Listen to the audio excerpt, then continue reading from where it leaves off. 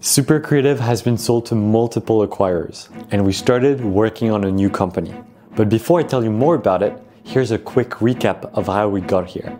I started Supercreative in 2020 to build business tools for creatives. My mom is a freelance designer and I freelanced six years too, so I knew what problems to solve. I started by myself using no-code tools, but I quickly realized that my ambitions could be much bigger by partnering up with talented developers.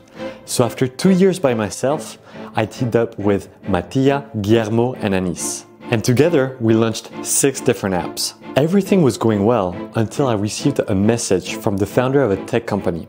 He proposed to hire me and buy Supercreative. I rejected the offer because I wanted to stay independent, but I realized then that we could be creating a lot more value by working on just one project instead of many. So in the summer of 2023, I said to a couple of people in my network that I was going to sell Supercreative, and four of them actually bought tools. Two of them are still being sold right now and will sunset the others or make them free.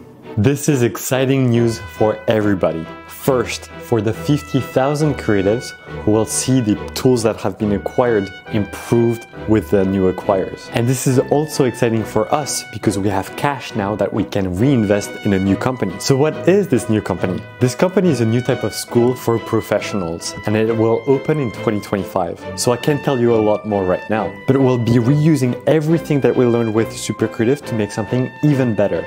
And we can't wait to see you there. Thank you so much.